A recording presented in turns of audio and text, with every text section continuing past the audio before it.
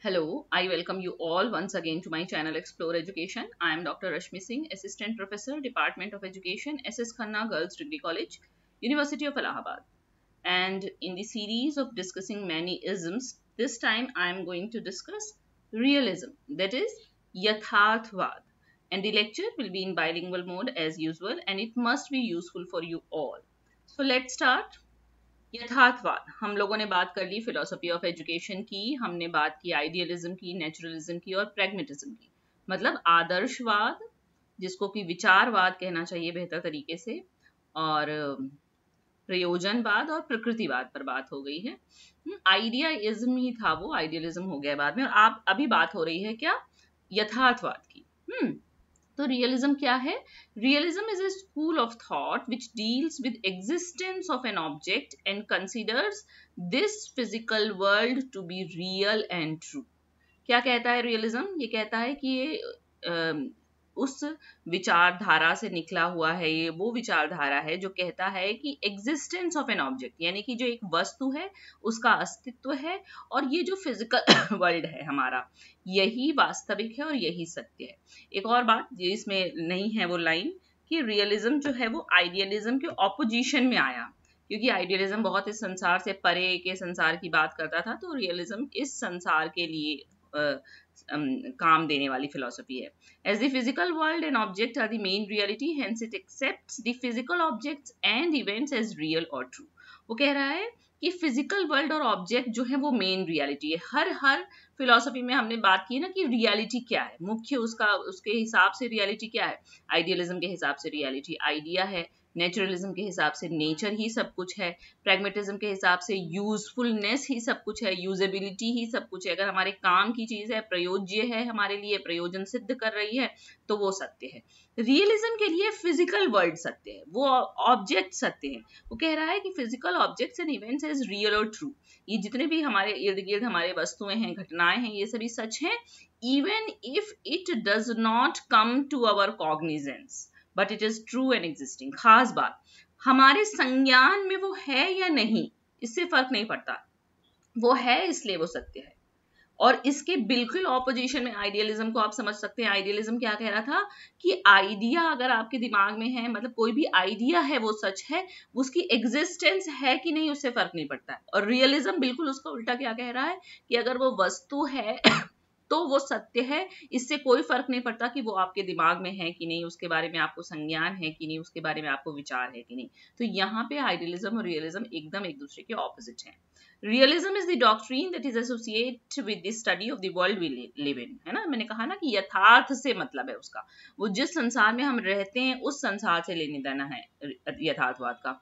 In realism the word real denotes actual और existing यानी कि यथार्थवाद में यथार्थ क्या है एक्चुअली सत्य क्या है रियल क्या है, वास्तविक क्या है, जो कि एग्जिस्ट करता है, जिसका कि अस्तित्व है। It says that physical world is objective and factual here as personal feelings and desires are subjective and secondary. वो कह रहा है कि जो फ़िज़िकल वर्ल्ड है, जो हमारा संसार है, वही ऑब्जेक्टिव है और वही फैक्चुअल है। जबकि हमारी जो आपसी भावनाएँ हैं, इच्छाएँ हैं, ये सब सब्जेक्टिव है और ये द्वितीयक है सेकेंडरी है।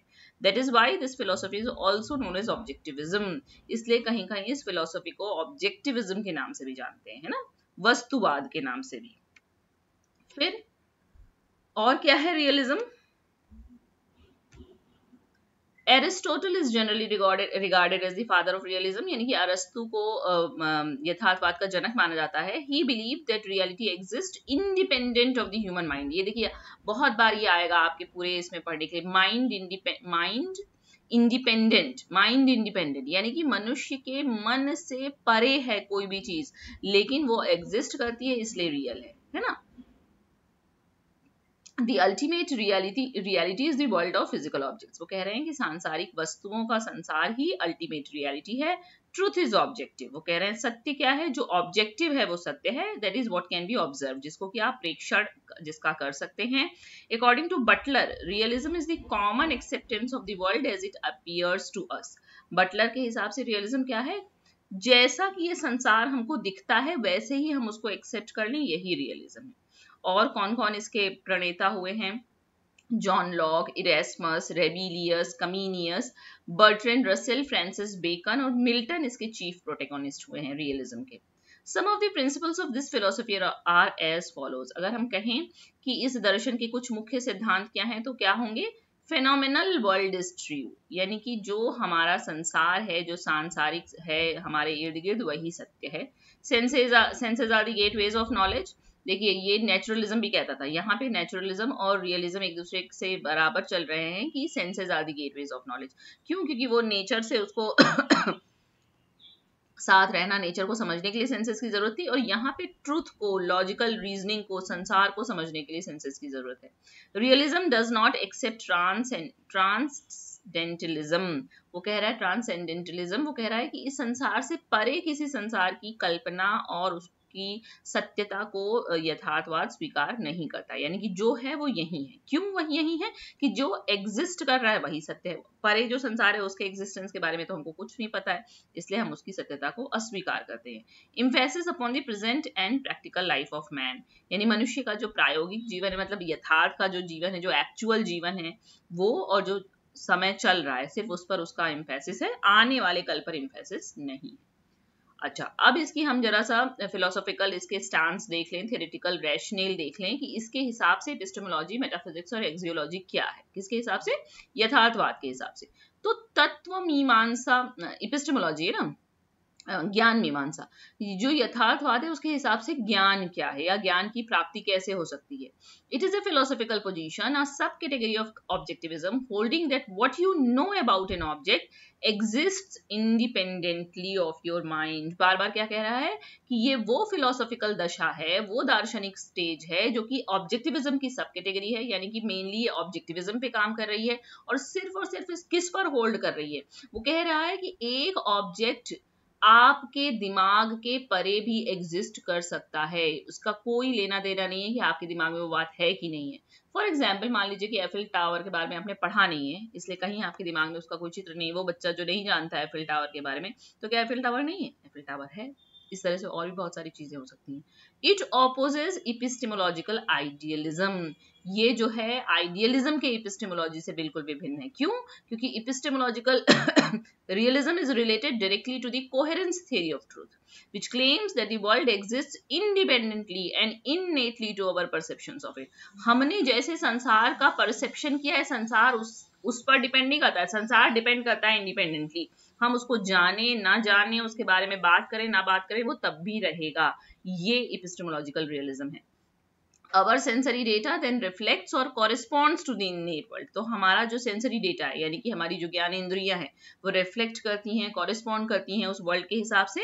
In the epistemological perspective the flow of realism would state that the relationship between the subject and the object is explain as a relationship where the subject gained knowledge of the pure object because of the influence of the object itself and not dependent upon the subject समझ में आ रही बात?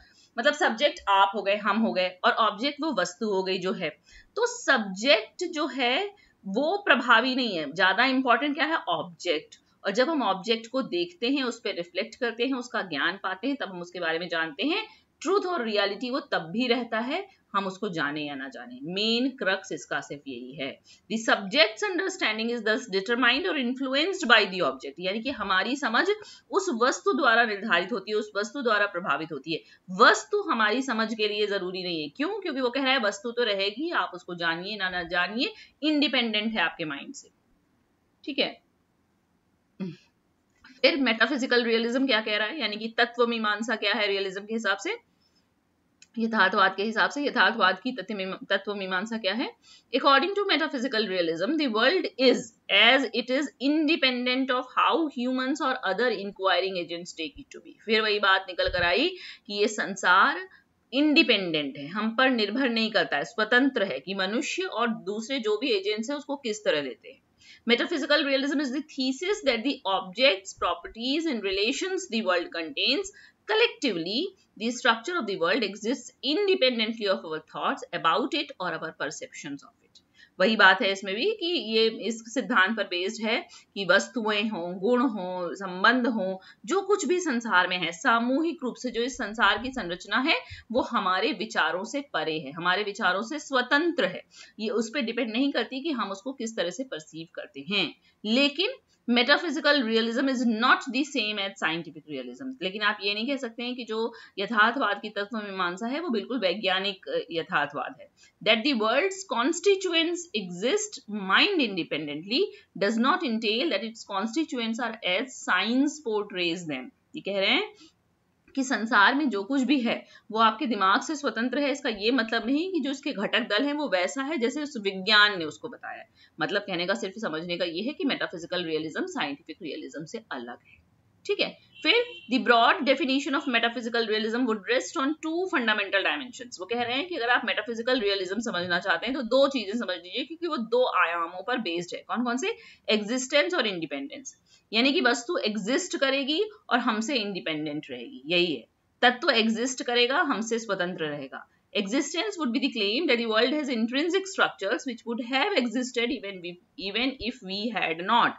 हमारे पास उसका ज्ञान नहीं है हमारे पास वो नहीं है तब भी वो exist करता है while independence could be related as the world and its features are as they are not dependent on our beliefs attitude and perceptions हमारा जो उनके लिए प्रत्यक्षीकरण है हमारा जो उसके लिए धारणा है हमारे जो विश्वास हैं, उनसे वो स्वतंत्र है। वो वैसा है जैसा कि वो है और वो एग्जिस्ट करता है। मतलब पहली बात वो एग्जिस्ट करता है और दूसरी बात हमसे इंडिपेंडेंट है।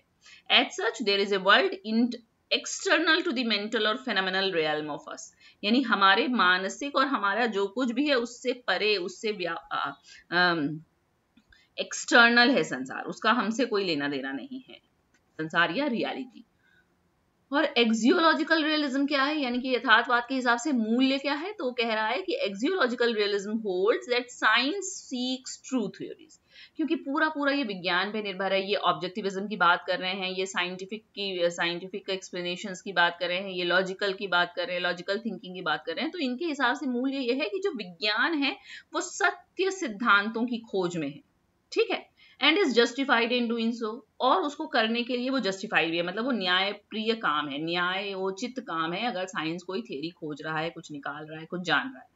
An axiological realist has to show that values play an indispensable role in the best explanation of the relevant phenomena. वो कह रहे हैं कि अगर कोई मतलब यथार्थवादी होगा तो उसके लिए मूल ये होगा कि वो रेलिवेंट फेनामेना का बेस्ट एक्सप्लेनेशन ढूंढे। और मूल्य जो है, वो उसमें भूमिका निभाते हैं। पोस्टुलेट्स कुछ इन्होंने बनाए हैं, कुछ अभिधारणाएँ हैं, जिन पर की रियलिज्म एक्जियोलॉजिकल रियलिज्म बेस है। तो इसका एक्सप्लेनेशन बहुत मतलब आसान नहीं है, सरसरी तौर पे पढ़ने वाला नहीं है। और ना इसके एक्सप्लेनेशन के लिए जितना टाइम और थेरी चाहिए, जितना समय चाहिए, वो उतना है हमारे पास। लेकिन फिर भी हम जान लेते हैं कि एक्जियोलॉजिकल रियलिज्म के पोस्टुलेट्स क्या होते हैं। साइंस सीक्स ट्रू थ्योरी सिर्फ़ इतना भी अगर आप जान लेंगे तो आप समझ जाएँगे कि आप एक्जियोलॉजिकल रियलिज्म को समझे थोड़ा थोड़ा कि जो विज्ञान है वो सत्य सिद्धांतों की खोज करता है। साइंस सीक्स थियरीज या उनकी खोज में रहता है या उस तरफ़ अग्रसर रहता है। Science seeks theories that are not only true but have bearing on और make a difference to the world of experience यानी कि विज्ञान ही विज्ञान की बात है कि विज्ञान जो है वो सिद्धांतों की खोज में है, जो न कि सत्य हैं केवल, बल्कि वो हमारे अनुभवों में अंतर भी ला सकते हैं। फिर science seeks full complex that is true and has bearing on the world of experience यानी कि साइंस फुल कॉम्प्लेक्स की खोज में है। Science seeks in theory change, यानी कि थेरी बदलती भी रहती है। Full complexes that are true and have bearing on the world of experience वही बात आई फिर। In theory change science seeks true theories that are contained in complexes that have bearing on the world of experience and last in theory change, science seeks to increase the truths that are contained in complexes that have bearing on the world of experience. यानी कि सार रूप में आप क्या कह सकते हैं कि विज्ञान है वो सत्य की खोज में है सिद्धांत सत्य सिद्धांतों की खोज में है वो सत्य सिद्धांत हमारे संसार के हमारे अनुभवों को बदल सकते हैं उसमें अंतर ला सकते हैं वो बहुत कॉम्प्लेक्स भी है वो इंक्रीज द ट्रूथ को, हमारा सत्य बढ़ाने की कोशिश करते हैं, चेष्टा करते हैं, ये सब कुछ विज्ञान है। और विज्ञान जो कर रहा है, वो सब सही है और जस्टिफाइबल है। एक्सियोलॉजी क्या कहती है कि what should be do and what should not be do तो कह रहे हैं, विज्ञान जो कर रहा है, वो सब सही है। यही तो मतलब निकल कर आया। तो इसका बहुत क्रिटिक भी है, लेकिन हम इतना डीप में रियलिज्म के नहीं जाएँगे। ठीक है? अब एजुकेशनल रियलिज्म की बात करते हैं कि शिक्षा में रियलिज्म ने क्या किया, क्या उसका योगदान है, क्या उसका हमने अर्थ निकालते हैं। तो education is that which makes a man happy by getting acquaintance with real circumstances of life create capacity for struggling with adverse situation in life यानी कि इसके हिसाब से क्यों? क्योंकि ये प्रैक्टिकल लाइफ की बात करता है प्रेजेंट लाइफ की बात करता है तो शिक्षा यथार्थवाद के हिसाब से है कि मनुष्य जो है अपनी जो उसकी जो रियल सर्कमस्टेंसेज हैं ज़िंदगी की, उनसे स्ट्रगल करने की कैपेसिटी हो एडवर्स सिचुएशन में वो स्ट्रगल कर पाए और अपने जीवन की आवश्यकताओं को पूरा कर पाए, यही रियलिज्म है, यही एजुकेशनल रियलिज्म है। Realistic education is connected with the needs of the life हमारी आवश्यकताओं से जुड़ी हो, हम अपनी आवश्यकताओं की पूर्ति कर पाए।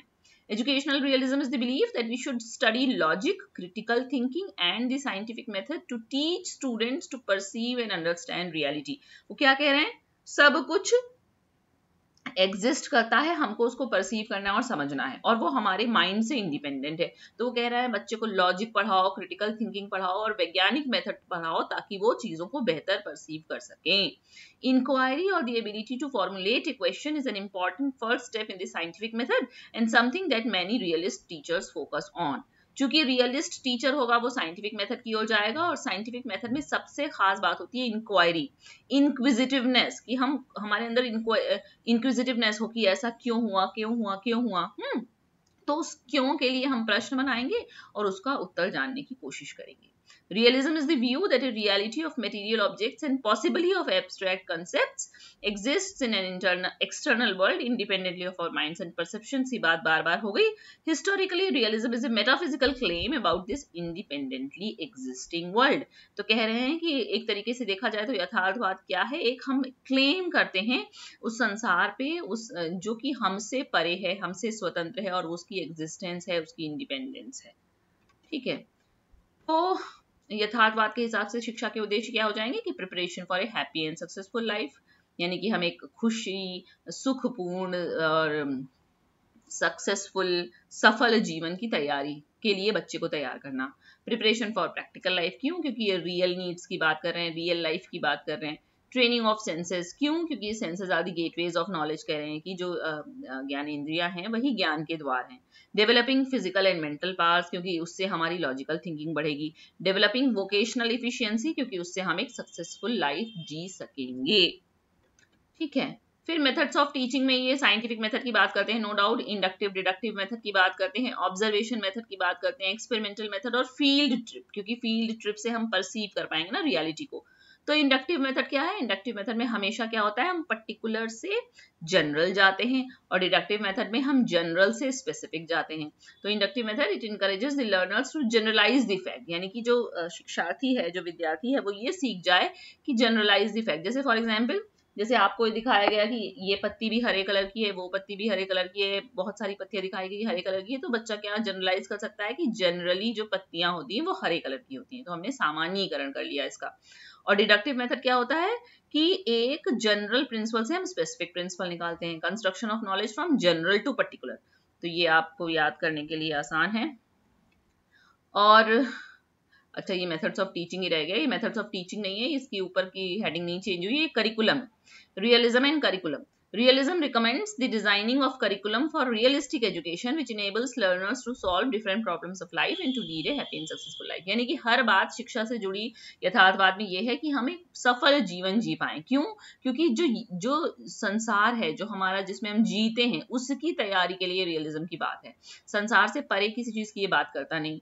तो ये क्या पढ़ाने के लिए कहता है कि जितने भी साइंटिस्ट सब्जेक्ट्स हैं, सब पढ़ा दीजिए। Physics chemistry biology astrology physiology etcetera and vocational subject भी पढ़ाइए। क्यों? क्योंकि वोकेशनल इफिशियंसी आपको देनी है।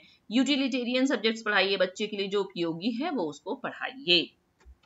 और डिसिप्लिन और टीचर्स पे रियलिज्म क्या कहता है? Realism led stress on synthetic form of impressionistic and emancipator discipline on emancipation होना चाहिए था। On the basis of natural and social procedures देखिए इम्प्रेशनिस्टिक यानी कि दमनात्मक दमना दमन, दमनकारी और इमेंसिपेशन मतलब बिल्कुल छोड़ देना। तो आइडियलिस्टिक वाले हैं, वो इम्प्रेशनिस्टिक डिसिप्लिन की बात करते हैं। नेचुरलिज्म है, वो इमेंसिपेशन की बात करता है कि बच्चे को बिल्कुल छोड़ दो। आइडियलिज्म बिल्कुल नहीं छोड़ते। तो ये कह रहे हैं, आप बीच का मध्यम मार्ग अपना लीजिए, एक सिंथेटिक फॉर्म निकाल लीजिए इंप्रेशनिस्टिक और इमेंसिपेशन का। तो रियलिज्म क्या कहता है कि self discipline for the learners यानी कि बच्चा जो हो, वो स्व अनुशासित हो by controlling their feelings desires and perform duties जैसे कि वो अपनी जो इच्छाएँ हैं फीलिंग्स हैं, उनको कंट्रोल करते हुए अपनी ड्यूटीज़ को परफॉर्म कर सके। और टीचर कैसा होना चाहिए रियलिज्म के हिसाब से? Realism believes that teachers should have full knowledge of the subject matter psychology of learners and the scientific way of delivering education वो कह रहे हैं कि शिक्षक ऐसा हो जिसको कि सब्जेक्ट मैटर का पूरा ज्ञान हो, वो लर्नर की साइकोलॉजी समझे और उसको शिक्षा को साइंटिफिक वे से डिलीवर करने भी आता हो। और मेरिट्स और डीमेरिट्स क्या है इसकी? तो मेरिट्स हैं बहुत, निसंदेह lays emphasis on practical knowledge ये प्रायोगिक ज्ञान की बात करता है डायनेमिक एंड अडेप्टेबल वर्ल्ड के विकसित होने की बात करता है साइंस और टेक्नोलॉजी को इतना इंपॉर्टेंस दिया गया है। प्रोग्रेसिव मेथड्स ऑफ़ टीचिंग की बात की गई है प्रॉपर कंसेप्ट डिसिप्लिन का यहाँ बताया गया है ऑब्जेक्टिविटी पे इम्फेसिस है, लेकिन डीमेरिट्स भी हैं, क्या? Emphasis on the immediate reality of the physical world सिर्फ़ इस वक्त जो हमारा संसार है, उसकी बात हो रही है। भविष्य के लिए हमको तैयार नहीं करता है। No place for intuition and meditation ये कहते हैं सिर्फ़ आप ऑब्जर्वेशन से सीखेंगे, लेकिन इंट्यूशन और मेडिटेशन का भी नॉलेज सीकिंग में रोल है, उसकी बात नहीं करता है। मच इंपॉर्टेंस ओनली जो साइंस सब्जेक्ट केवल केवल साइंस के सब्जेक्ट्स पढ़ाने की बात है लिटरेचर ह्यूमैनिटीज की ज़्यादा बात नहीं है। No faith in eternal values and high ideals of life यानी शाश्वत मूल्यों के और उच्च आदर्शों की बात नहीं है। क्यों? क्योंकि जीवन को इसी, जीवन को मानता है कि यहीं तक है जहाँ तक हम जी रहे हैं। उसके परे कोई जीवन नहीं है, इसलिए इस तरीके की कोई बात इसमें नहीं की गई है। ये इसके अवगुण है। फिर भी ओवरऑल ये फिलोसफी आइडियलिज्म के ऑपोजिशन में आई और जो आइडियलिज्म के बाद जो लास्ट में खराब हो गया था आइडियलिज्म में बहुत ज़्यादा आप कह सकते हैं ना, अंधविश्वास और ये सारी चीज़ें हो गई थी, उसको इसने साइंस लॉजिक और क्रिटिकल थिंकिंग से दूर करने की कोशिश की। तो निसंदेह इस फिलोसफी का बहुत रोल है और शिक्षा में तो निसंदेह बहुत ज़्यादा रोल है। So this is the, uh, in this way we have concluded a very important philosophy realism and I have concluded this one too. So thank you and don't forget to like and subscribe my channel Explore Education. Okay, I have done from my side.